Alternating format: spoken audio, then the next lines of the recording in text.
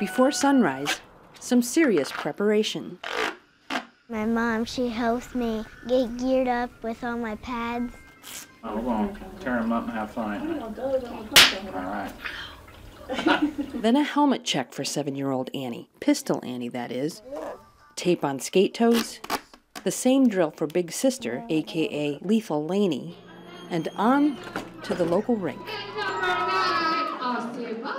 I thought it was something the kids would better themselves as far as how to interact with other kids and the exercise and, and get their aggression out. That's right, it's roller derby for kids. Take your mouth out our Take your knee guards. Touch your helmet now.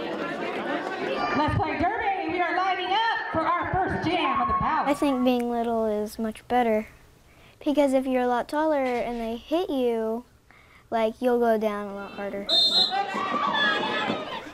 And I like being small because I can go right through there. Lethal Lani's on a power jam. Mom's a fan too, though she worries about injury. I was shaking until it was completely over. I could feel the butterflies in my stomach.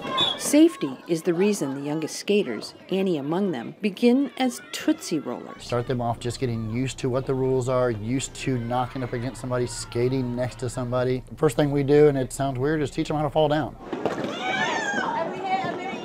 At the seasoned varsity level comes the more rough and tumble version of a sport that's been around since the 1930s, but that's seeing a revival with this younger set. They're crazy. They hit real hard. Some hope these young skaters will help roller derby become an Olympic sport. But for now, Annie's just thrilled to win a bouquet of lollipops and the title of Tootsie Roller MVP. Great job, girl. The future of roller derby. Martha Irvine, Associated Press, Anderson, Indiana.